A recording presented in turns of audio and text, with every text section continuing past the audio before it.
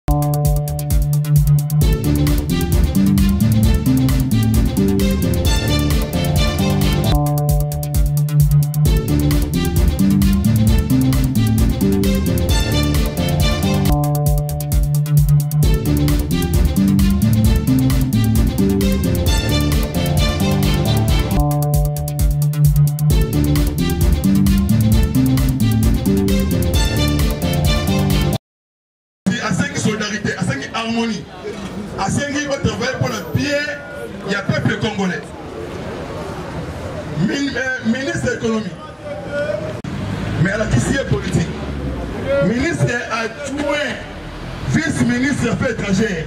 ye acorge ministre ya affaires étrangères titulaire emati likolo semaine wana epesi kelke ba adf nalu minduki kelke adf nalu ba arme mpo na komassacre biso peuple congolais pour votre information idepesi viva états-unis appuye lorenzo na ba arme états-unis appuye uganda na ba arme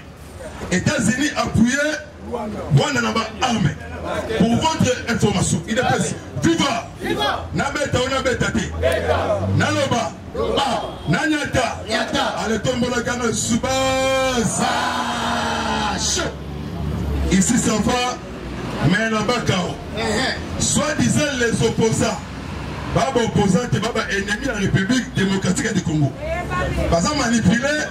na département d'état afrique département d'état européen département d'état ya union africaine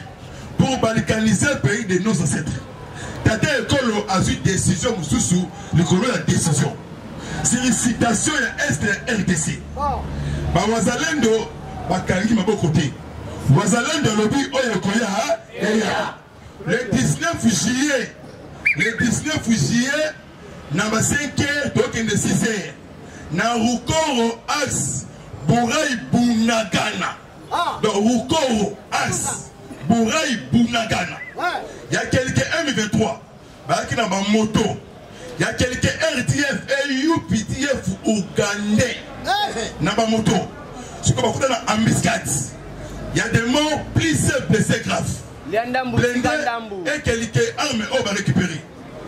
mpona kozukisa awa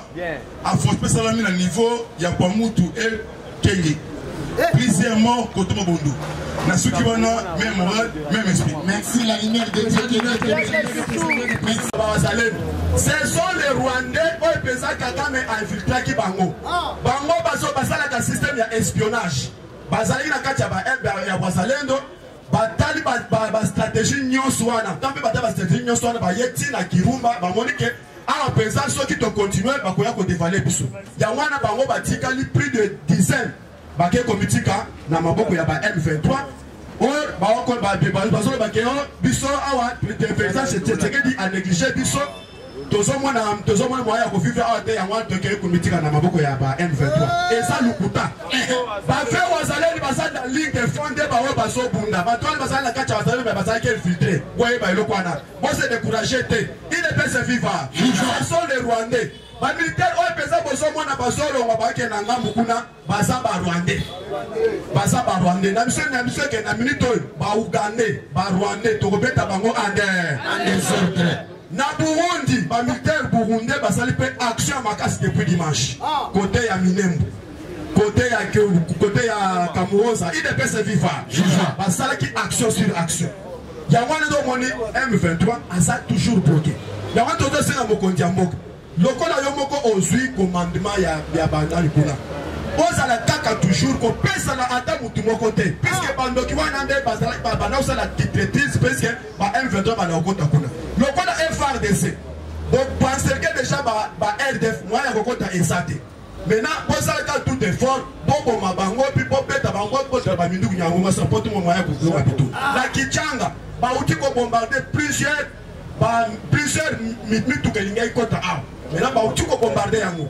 na niveau ya tout aux entours ya rubai lisusu bitumba depuis dimanche qui ne peut se vivre dimanche ezalaki mwa bitumba makasi depuis lobi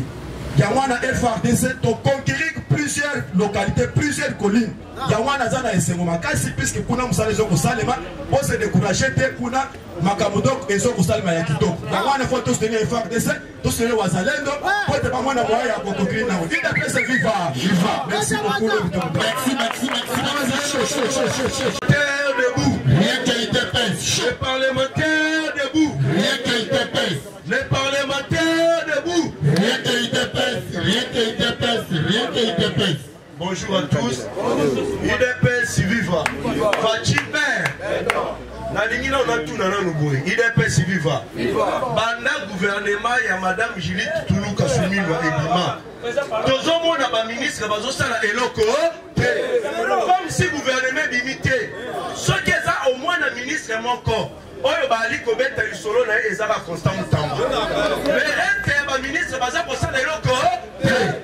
Udps viva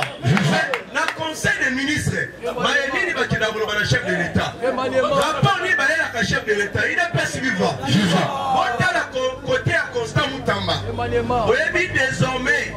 mpo bapesa yo certificat de nationalité congolaise contrôle ezosalema na ane ezosalema na dgm kolongwa kuna eye kotombe na ministère ya justice mais constant mutamba A bloquer ba dossiers ya ba oyo bazali na passeport ya ba pa. Ya ba pa ya. C'est ça. Il est pas si vivant. Alobi, ceux qui ont na passeport ya ba pa ya. Moyen ba pesa yo eza. Zate. Wana neza usala musala malamu. esuki wana te alobi soki olingi okoma pasteur ofongola eglise na république démocratique du congo elongobani bapesa yo permis oyo ezopesa na ministère ya justice sans permis wana moyen ofongola église obengama paster eza te c'est ça po baeglise ekoma kofongama pamba pamba oyo aza bandi amoni piake eza beti alobi e eh, nafongola église mpo nasala commerce na ngai mais constant mutamba alobi babiloko wana eza lisusu te bakokontrole oyo balandeli yo soki elongobani bamoni ete tomerito fongola bapesi yo permis de culte mais soki elongobani te moyen bapesa yo ofongola eza obetela constant mitama maboko mais sikoyo bino baministre mosusu boloba na biso boza kosala nini omoni lolenge makambo yali kokendele nazali komona ete ke remaniema kala te esalemi idps remaniema kala te ekosalema parce ke na kati ya guvernema baoyo mosusu base retrouve baministre base retrouve na nzela ya shi ya shida idps viva base retrouve na nzela ya shi ya shida nalobi tokotano na este tokozonga na dossier ya augustin kabuya il est pesi vivant tobanda nao na este pale naloba te naloba te facimbe bolanda sikoyo makambo mayali koleka na este tozi tomoni au total 70 militaire rwando ougandaise bazwi batraverse bazwi bakatisi kote uchuru bakoti ebele udps viva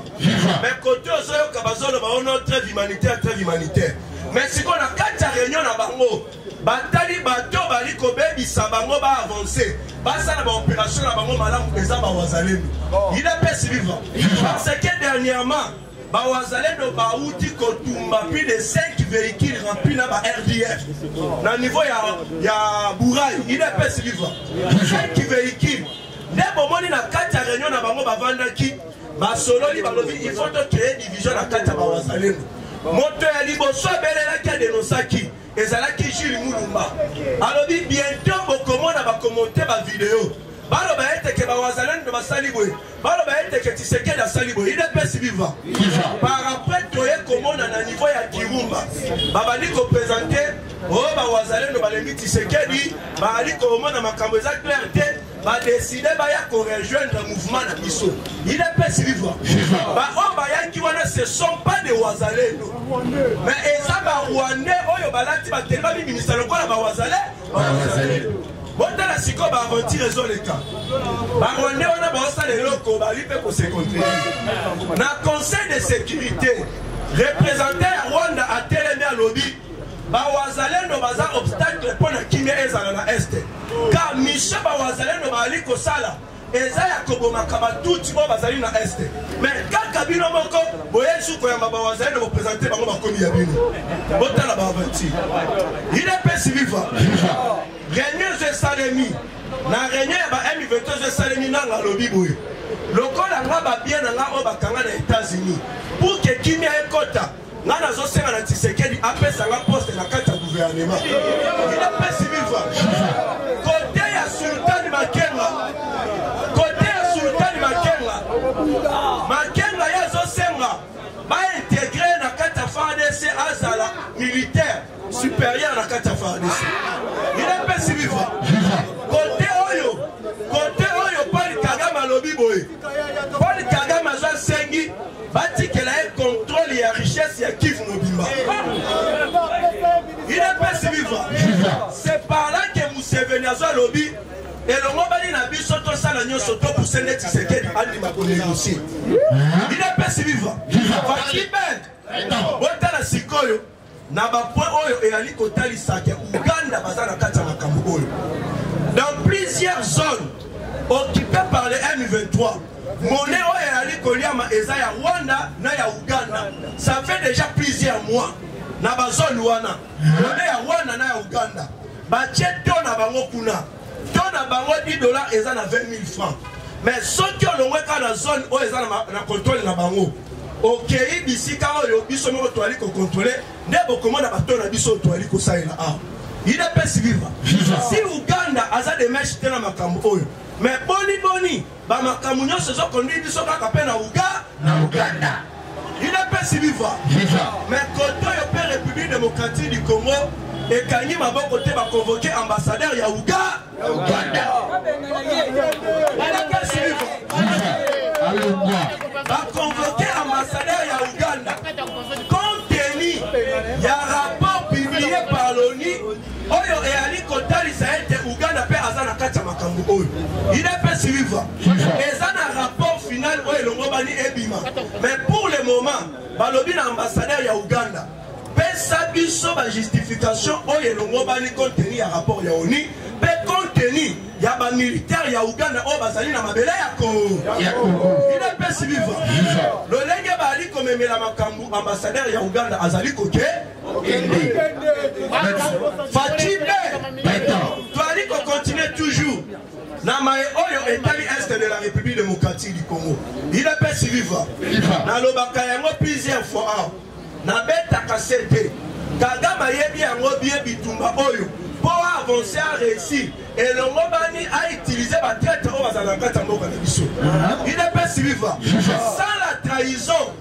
Kagame ne peut jamais réussir c'est bien. Si si. Kagame ali ko profiter na bato bazali na kati ya armée. Yango nga napesaki likanisi. Nasengaki na chef de l'État. Ba militaires supérieurs oyo bazali ba fruits ya mixage et brassage. Mpo Kabila aza tika na Est Elongobani balongoli bango nyonso bamemi bango awa na Kinshasa babanda sikoyo kosala controle bayeba parcours militaire ya moko nsima na moko idepesi livwa mais tant que bazotika bango bongo bango nde motu bazofasilite rwanda c'est pour cela il y a des tenues militaires ya fardc oyo bamemi yango ine ine na rwanda na bateni militaire wana eza mpo ba M23 udps viva kimia ezala bateni militaire oyo ekei na rwanda ezali mpo balanse operation ya kobanda koboma barwandais na bateni na biso baloba ete botala tshisekedi abandi koboma barwandais awa uh-huh. udps viva c'est ça l'opération eza na minute oyo mais biso kote oyo tellement qu'il y a des traites na kati ya armée mais bazali kotika bango tokozwa solution ndenge nini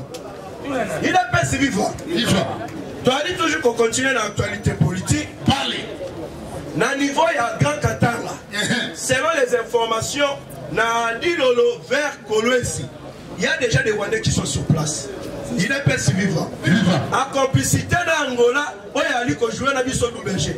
Merci beaucoup président Doul Udepese viva. Viva. La CPLI Makassi oza sous oza vraiment informé. Au moment où je vous parle,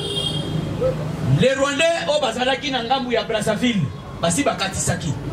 Bakutana déjà na ba Américains au baye baza na Kabinda. C'est déjà Badilolo ba kabinda ba frontière wana ya bangola président doul je vous remercie oza penda informé mexique na udps viva viva bato bali kojoue biso je na angola mpe ali na kati nyonso wana bazolinga basala mpo tokoka konegosie na rwanda ka makambo oyo eza koleka na rwanda ezali koleka na mabele ya congo baintere na bango mpe ezalaka na kati wana idps viva na minute oyo Kagame alobi makambo etali est insecurite ye yangani aza na kati te udps viva kagame azo continue kowangana me bomituna eloko moko soki kagame aza na kati te mpo na nini rwanda aadere na treve humanitaire so bino boza na kati te boadere na treve humanitaire ndenge nini udps viva ozomona baaventure yo olobi ke oza innocent makambo wana boyebi te Mais soki sommet moko elingi esalema concernant makambo ezoleka na est nani yango akenda korepresente ba m23 sio bokobanga na ndenge nini nyonso wana eza badistraction eh. c'est pour cela le wazalendo balobi boye biso makambo ya treve humanitaire na bino etali biso oh, bawazalendo bamonaka deja eloko oyo banda kala naloba to naloba te Ba wazalendo depuis kala basenga na chef de l'etat tolingi to dépendre na FARDC te so to dépendre na FARDC eloko nyonso bakoloba na FARDC atosa biso mpe tokotosa yango biso tolingi tozala ende indépendant yango bomoni ba wazalendo bali kosala makambo bino FARDC ata bosali entraînement etali bango te bango nde misu ya koboma ba mvr na niveau ya ruchuru mpo na baraison stratégique oyo nakoki kopesa vraiment lie précise te tosutuka boye bawazalendo bazali komatisa badrone ya reconnaissance plusieurs drone ebandi komata moko aza lobi Desormais biso pe toko utiliser ba drone oyo po permettre biso toyeba bisika kani ba M23 bali kobo kobonga il est pas civil va siko eloko ekamusaka ngai ba wazalendo baza ba civil te ndeko na nga mais bazo bunda makasi koleka FARDC ndenge nini makasi ya nzambe ba wazalendo ba civil mais bazobunda makasi koleka bamilitaire forme ndenge nini reponse eza moko reponse eza moko na kati ya arme ya mboka na biso il y a pas vraiment des militaires qu'il faut mais il y a des militaires oyo bali au service du roi du rwanda udps viva tozonga na dossier ya kabuya mpo natikela bato mosusu baye naloba to naloba te cibe oyebi kabuya koloba trop ezotalisa ete ke ayebi eloko te kabuya commission disciplinaire du parti uh-huh. batindeli ye convocation oyo expire mokolo ya samedi napesi vivakabuya alobi aza koyeba bango te eh, eh, alobi aza koyeba bango te botala sikoyo buzo basali meme commission disciplinaire nde ekweisaki kabund ezwi yo erestala yo wilo soki olobi oza koreconnaitre bango te seke yo mpe installation na yo ezali ze zero seke kino lelo jama kabunda kabunda azali kaka wa wana ah. osei poli yango te yango te botala bavanti ya lokola peda tisekedi bazwi bapiblie ye na cour constitutionnel ndenge babelelaka no Eh, tshisekedi azwi boye azwi boye nde komonaka ezala par après tshisekedi alobi ngai cour constitutionnel wana nazoyeba yango te c'est que on mettre en cause bogani na yo na élection lelo komo lolenge mwana kabuya par après kabuya azo alobi boye hmm. ebele oyo bazoloba wana ah. badepute oyo babimi na udps babimi na signature na nga soki alobi babimi na signature na yo soki alobi babimi na signature na yo Est-ce que mutu po abima député akobima na signature de secrétaire général de parti bakiloko kabui azo alobi nde eke matière epai ya bato bazali na opposition ye mpesi viva ngai naza kosenga na mama mat kasano oyo azali confondatrice ya udps dossier oyo bokota yango sino te bato bakokufa pourkui nalobi yango bokende na permanence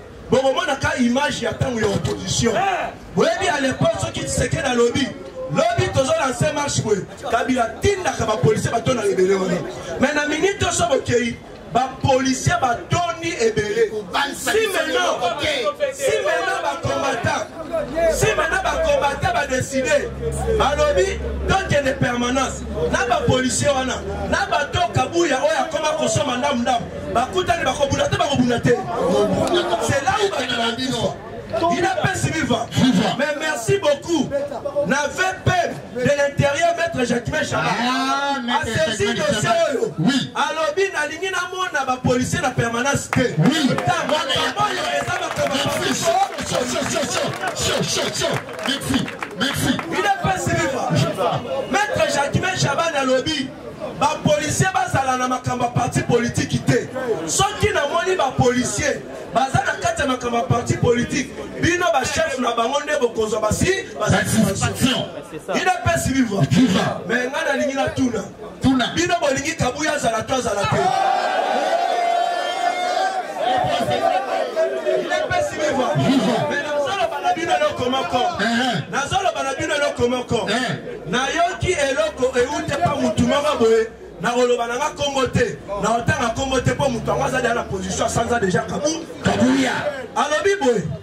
bayebisanga ke na udps bakombata bazalaka te nakomi kokonfirme yango soki bakombata bazalaka mbele ero deja bakenda na siège na bango kabuya azalaka te c'est à nous tobongama tosorganiser lokola kabuya alingi kokende te tosala maye oyo tosala ya rosa malonda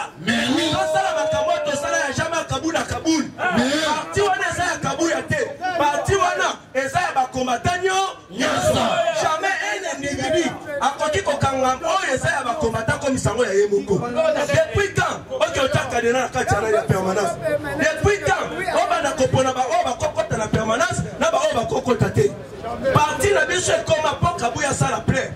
bimi bimi bimi batili na batransco eke kolokota na bashege na nzela bamemi bango awa na permanence bango babandi kofilme botala kabu ya sana bato ebele ah. bato wana baza bakombata merci bonjour bonjour cher combattant bonjour merci beaucoup lelo naye koreveille conscience ya bacongolais en sigle uh-huh. boyebi makambo oyo ezobima na makambo oyo etali ya treve oyo ya états-unis d'amérique efo boyebaka ebandi na congo te kagame boyebi rwanda ezali pays ya baout na bapigime na kati ya rwanda le tous bazalaka te Batusi bawuti na Ethiopie bazoya komata na fleuve Nice baye ko se retrouver bisika ba se retrouver c'était descendance ya reine de Saba Kagame azalaki na kati ya Uganda azalaki na Rwanda te ezali produit fabriqué ya mese moseveni guerre ebandi kagame aye na rebellion koya na rebellion na rwanda ezalaki abiarimana abiarimana nde azalaki président ya rwanda mais les américains bango nde babandaki kosoutenir Kagame. Ekomaki ka makambo ya trêve. Tango balobi trêve humanitaire nde à ce moment là Abiyarimana avandi na ba militaire na ye Amérique abandi ko renforcer Kagame. Nde eyaki kokoma keno Kagame azwa Rwanda. lelo kaka makambo oyo toza na yango lelo na république démocratique du congo na treve oyo les occidentaux ou bien armée ya otan bazali korenforcer rwanda très fort parce que efo boyeba meme ndenge toza na kinshasa awa Lobi à partir ya 2 heures du matin na fleuve tout justement entre libongo ya triac na libongo moko eza na se il y a des 57 éléments bakatisaki na butu awa na kinshasa baza na kati ya kapitale awa donc boyebake mabe eza makasi c'est ça que Tozo reveiller conscience ya moko na moko, meme armée congolais, meme la police. Mabe eza na kati ya Kinshasa. Présidence de la République tolalaka te mpo na koeveille mpo na sécurité na yo mais j'espère ke baoyo baza pembeni na yo balingi yo te nasengi na yo Atake communicateur hey, di parti historien de l'udps naza kolela na kati ya motema me naza na makoki te ya koapeshe bango bato oyo baza na makoki ya koapeshe bango sale effort oyeba lolenge ya kotia unité spéciale nayo ebanda ko controle ville province ya Kinshasa dede oyoki mese Katumbi azwi ba policier akorompre bango mbongo ebele na montant ya 5 millions de dollars américains na Katanga mpo ete bakende ko rejoindre M23 mais les choses grave eloko nini eleki babengani bango nyonso balobi mbongo oyo apesi biso eza moke moko na moko abandi koyebisa ye abandi koyebisa ye de major bana basi bazali basi ya mabala bango nde babimisi sekret wana balobi boye koma ke katumbi akoki kopesa biso mbongo tokende ko rejoindre M23 le temps que biso toza ba congolais M23 c'est groupe armé roi rwandais voilà voilà na parade nde badenonse eloko wana yango nazoloba na chef de l'etat tosengaki sale reforme rapidement na kati ya la police parce que la police ce sont de majorite rwandais bebe boyebake katumbi atindi mbongo na parti na biso ebele je vous le dis j'ai la soubassement des informations malgré tout temps eza moke toza ebele mais il faut boyeba ke katumbi atindi mbongo au sein du parti mpo na kosoutenir augustin kaa aboya mais qui est katumbi il faut boyeba yango qui est katumbi mais katumbi aza na parti na ye comment akoki kosoutenir secrétaire général ya parti mosusu baje mabe yango nazomona badiproke tozali nayebi ke diprobe diproke abotami na kati ya parlement debout depuis 1992 que le parlement de boye commencer biso nyonso tozalaki esika moko fondateur ya diproket ye bato ebele oyo bozomona wana moto oyo tozalaki na ye oyo ayebani seba ntongo tozosala ereunion c'est ça mais kolo histoire yeyo mais lelo politike ya divise pumbi ye eregne eye epai ya mesekabu kabuya Au lieu ya tozala unité, Kiabula gouverneur oyo bolobi que non aza gouverneur ya UDPS. En tout cas, na remercier bandeko na ngai ba président oyo baza na kati na esika oyo nouvelle génération ngai moyike na bino président seba bato babandaki komituna mingi ndenge nini jusqu'à maintenant président apesi position te nalobaki ke position na ngai nakoya kopesa yango na parlement debu awa na kati ya sa lere grave ndeko na nga en tout cas tozwa conscience ya kimomoto vie ya mokonzi ya mboka là je vous informe eza na insécurité mboka eza na insécurité mboka eza envahi bato ya aner oyo tozomona baza kati na biso bazosunga mokonzi ya mboka te bazosunga mboka baza batretre là je sais fort mais kobanda badirecteur na bango nyonso batufi na ba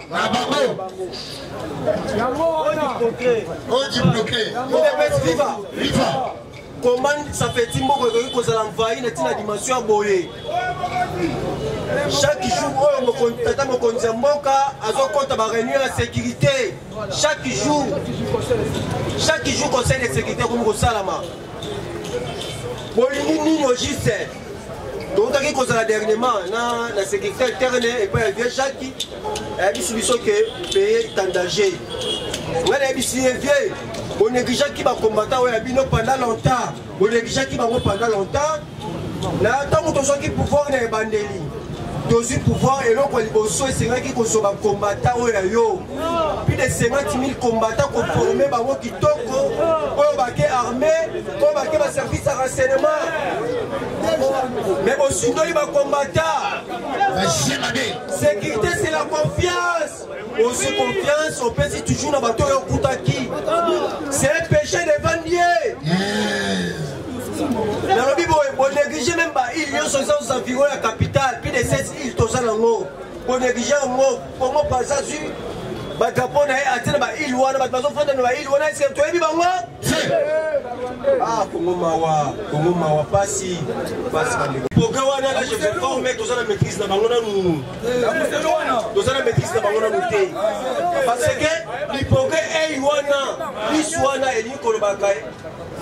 miso ya pouvoir ya komona me lelo lipoke oyo baza na kati ya 10 miri nous allons compris que bakomi na service ya bakadre mosusu baza kolinga komanipule koboma parti tosengi na notre secrétaire général augustin kabuya atika atika pouvoir na male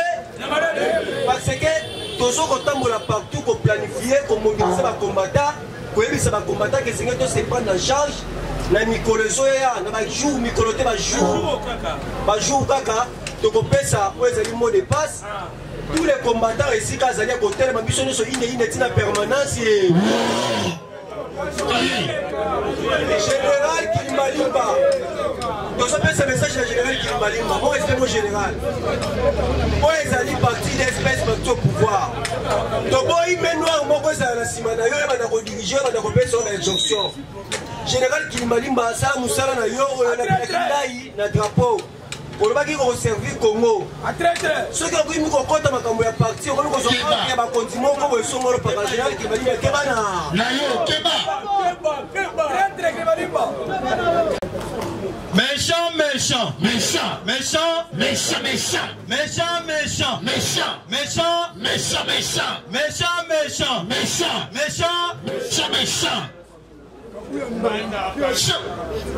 Chers amis,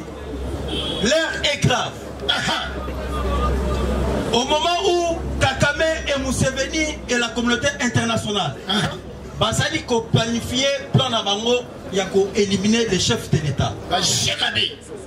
Lelo oyo Kabuya ake kosala mariage na bato ya FCC. Lokoso. Mpo boyeba marche na biso tosalaki mokolo wana e éveiller conscience ya chef de l'État. Si, si. C'est comme si Fatshi bakenda kokanga ye eloko na miso. Mais ntango tosali marche wana e réveiller directement le chef de, de l'État. Kabuya sans esprit. Mes chers frères, ndenge esali wana bato ya FCC baye ko proteger intérêt na bango upansi ya kabuya ah, bakamati bato ya pprd basheke bakuluna bapesi kabuya bake kofanda na permanence mpo babatela intérêt na bango na kati ya parti ya basalelo tozoyebisa kabuya boye kabuya n'est pas si fort comme kabungu tozoyebisa kabuya boye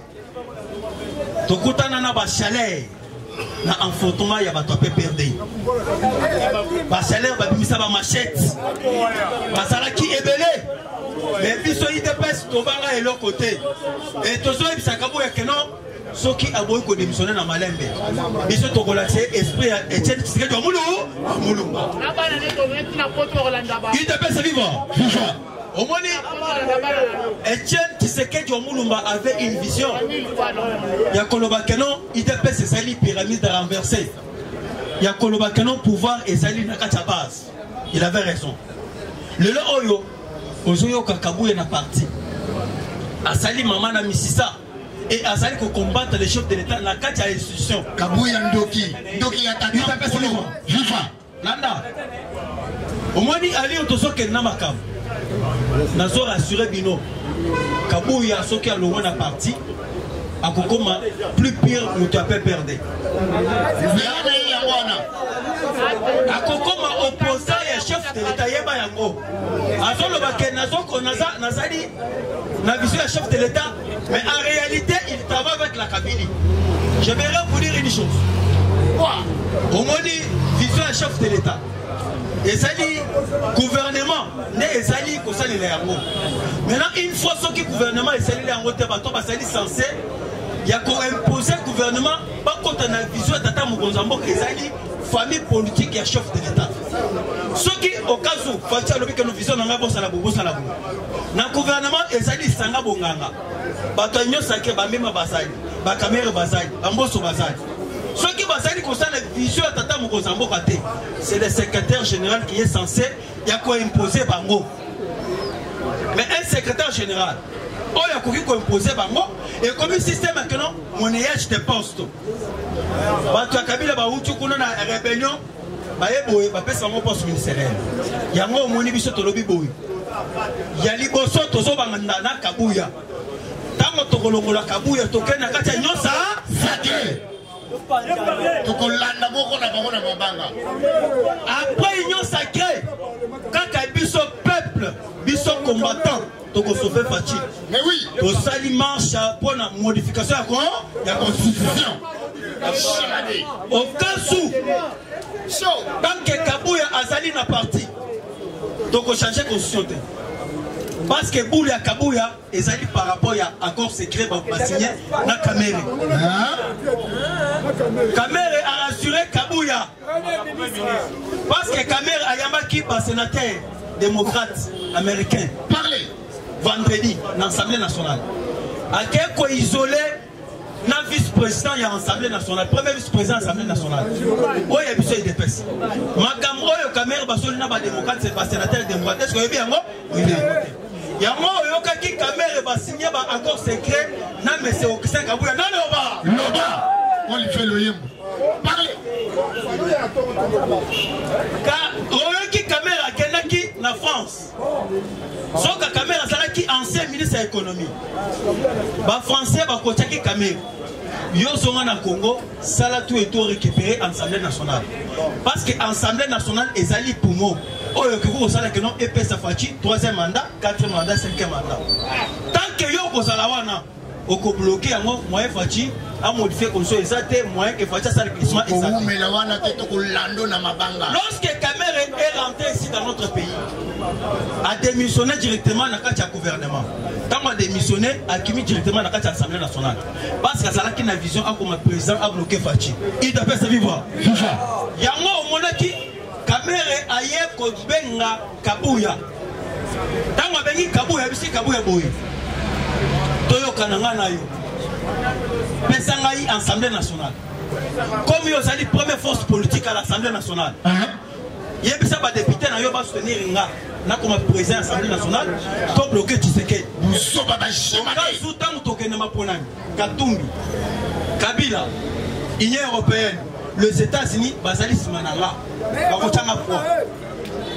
en plus ntango nakoma président na 2028 yo mpe okokoma président ya assemblée nationale nde accord seke bakenda kosinya vital kamer idps viva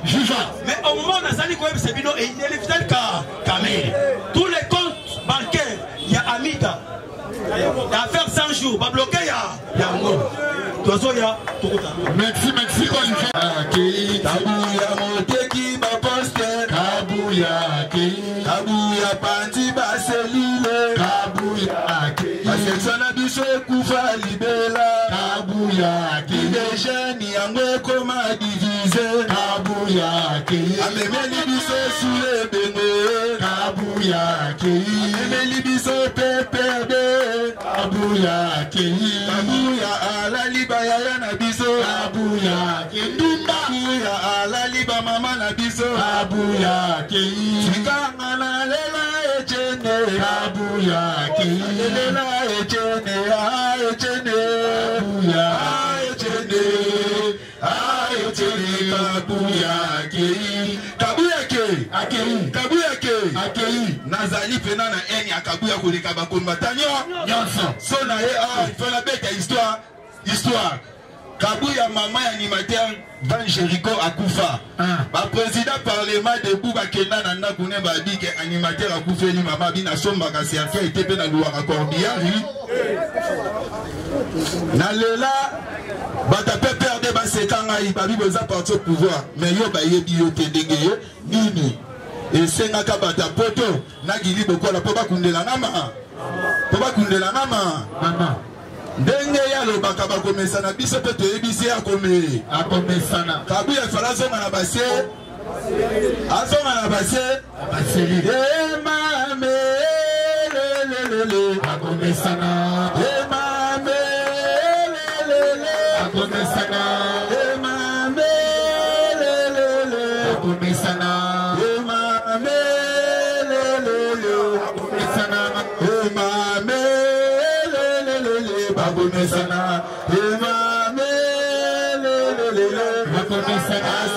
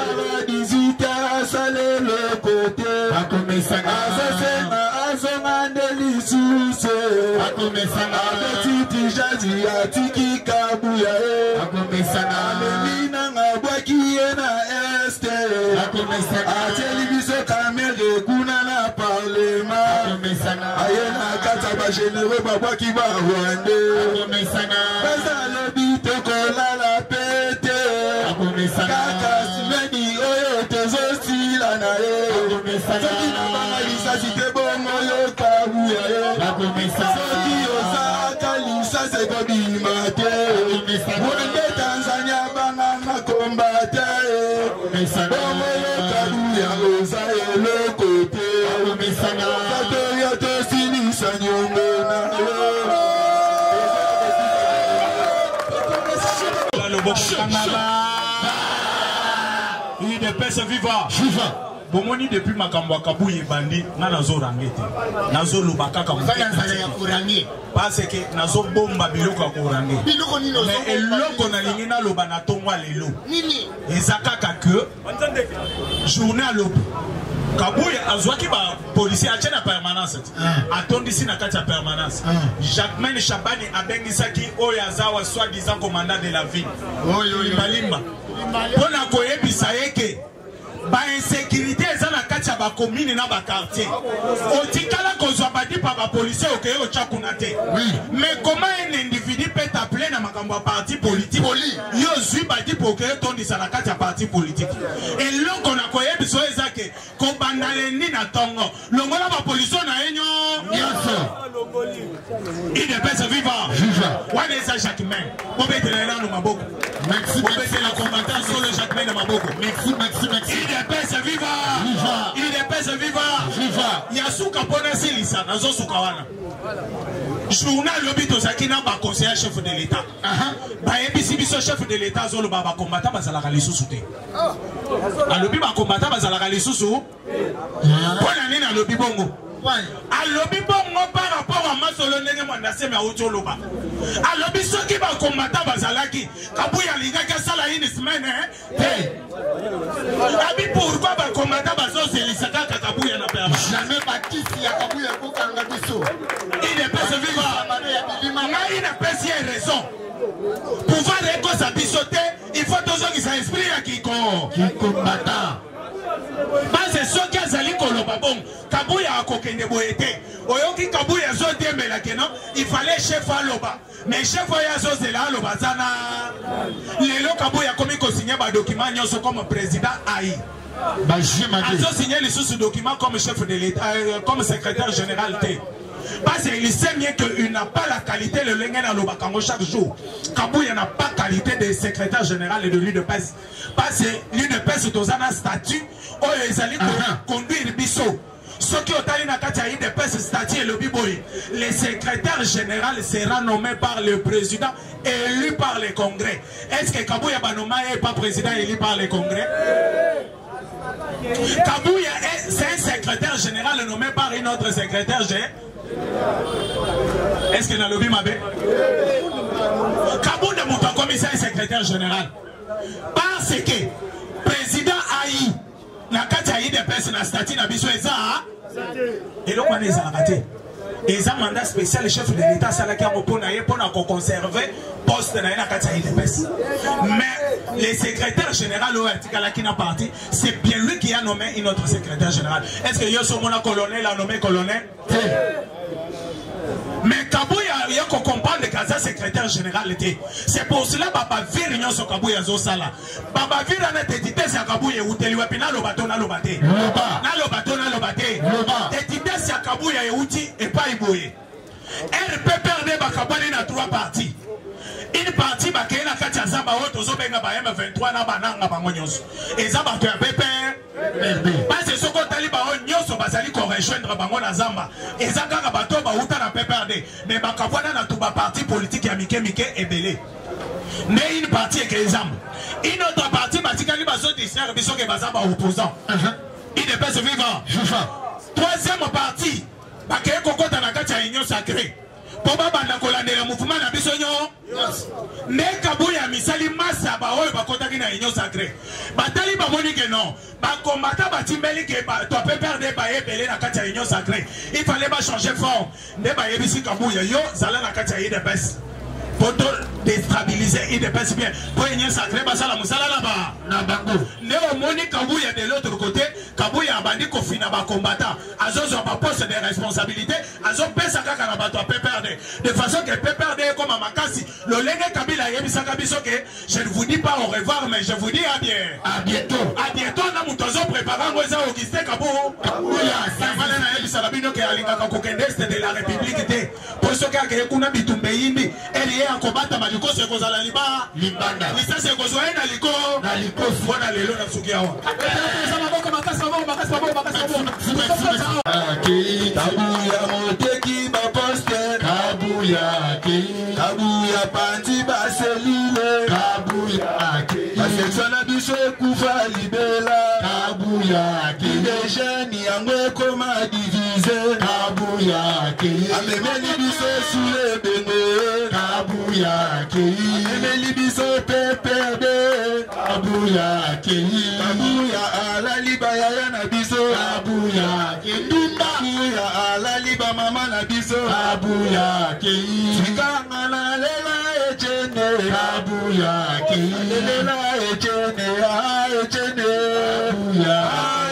Chende, ayo chende kabuya akei. Kabuya akei. Akei. Kabuya akei. Akei. Nazali pena na haine ya kabuya koleka ba combattant nyonso. So na ye ah il faut na beta histoire histoire. Kabuya mama ya animateur Van Jericho akufa. Ba president parlement debout bakenda na ndako ne babi ke animateur akufeli mama bi nasombaka cercueil te mpe naluwaka corbillari nalela bato ya pprd baseka ngai babi boza parti au pouvoir mais yo bayebi yo te ndenge ye nini esengaka bato ya poto na gili bokola mpo bakundela nga maa mpo bakundela nga maa ndenge ye alobaka bakomesana biso mpe toyebisi ye akomee akomesana kabuya fala azonga na base azonga na base emame lelelele akomesana emame lelelele akomesana emame lelele akomesana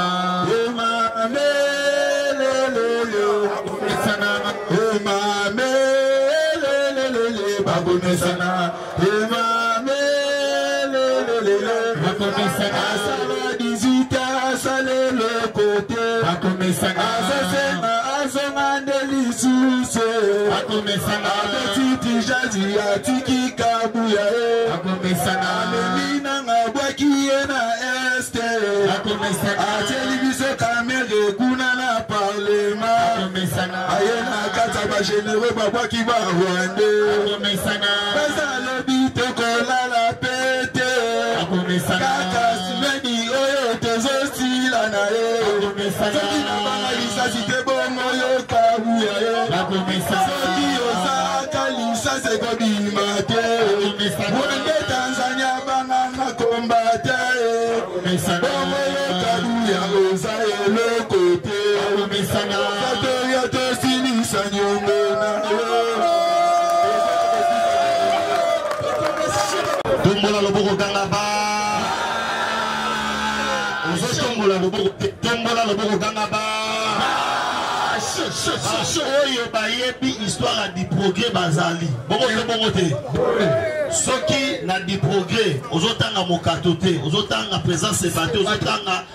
Eh, nani président jeko te seke oza biprote ya koyaku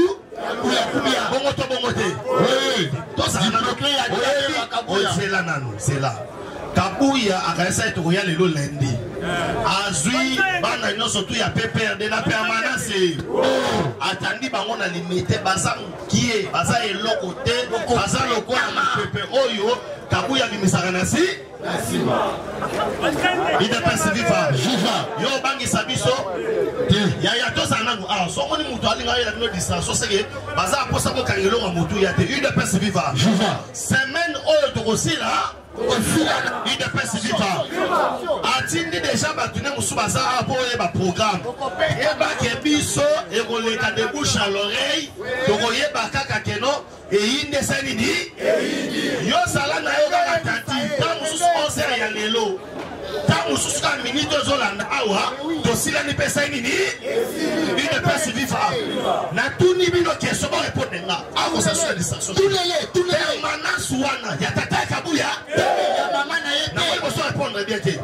permanence wana tata ya kabuya ya mama na ye abangiso na nini udepese viva abangiso na nini udepese viva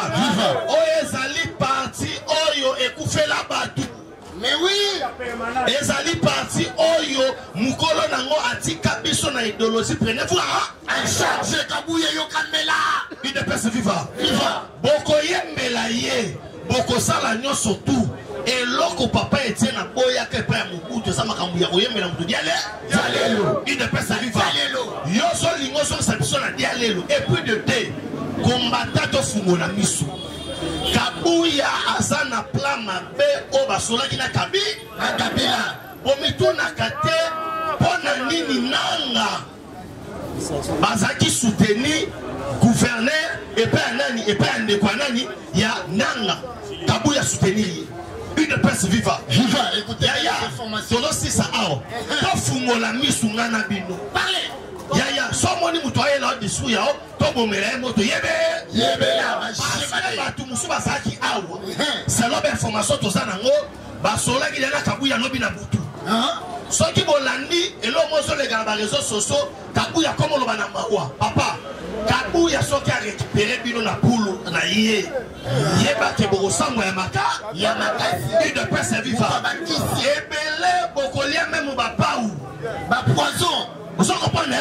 cela veut dire ntango oza mobali yeba kosala likambo mbala moko mbala moko mutu oyo azokosa bino tozela faci aloba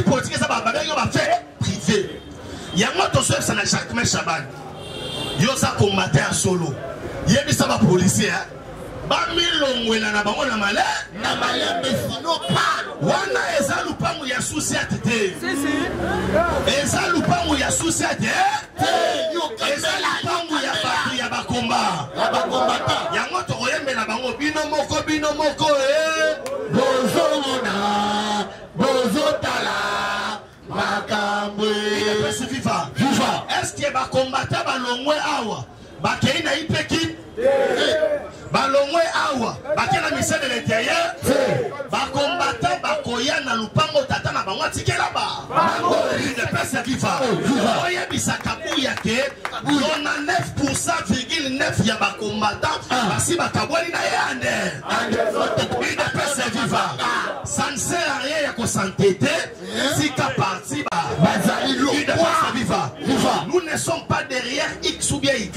yo tikela biso nanu pa parti bato ya mayele baza bazali nyonso boyebi mpo ani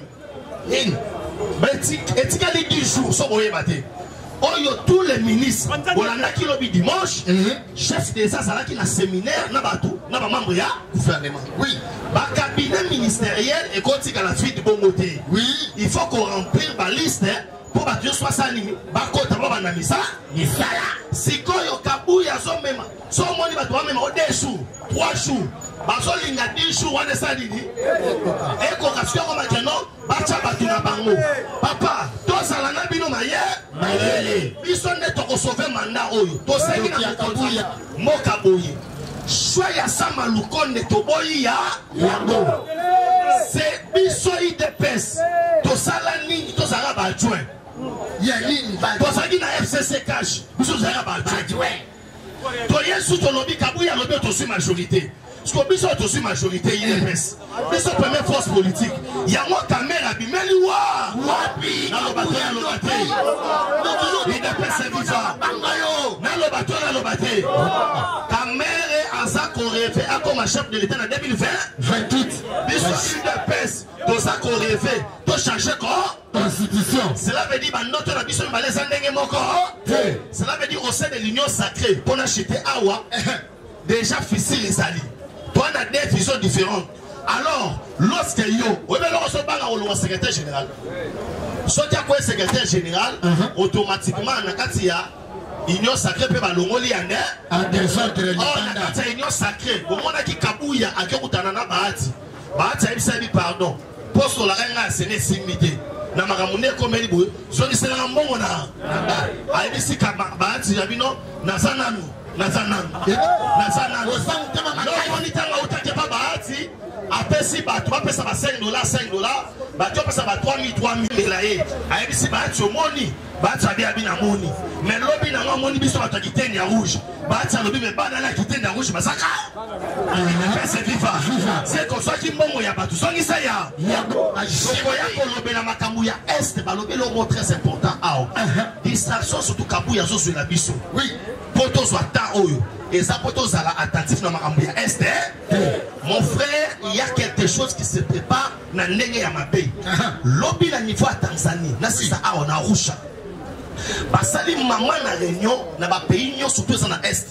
e basangisi na angola na congo brazzaville ce pays court des énormes dangers parce que la communauté internationale les américains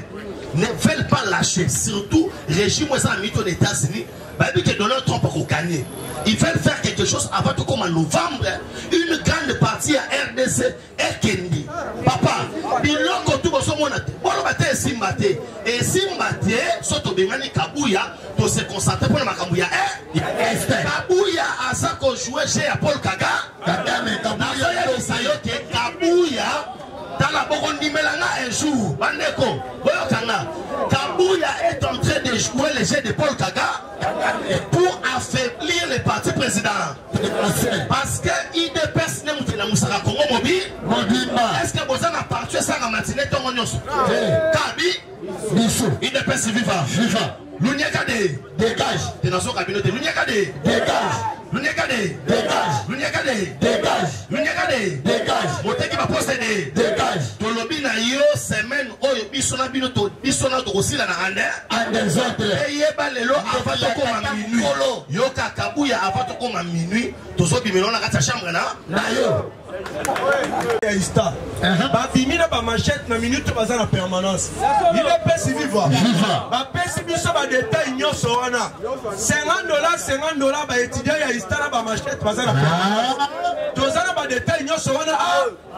yango ye abasignale biso deja na ndenge baali kokende na nzela mpo na kokóma na permanence udps viva tosengi na mama mark kasalu tosengi na vpm de l'intérieur maître jacme chaban oui. bakota dossier oyo kaka kabuya akomi kokreye bamili bamilisi kabuya ozosakana na biso ozosakana na biso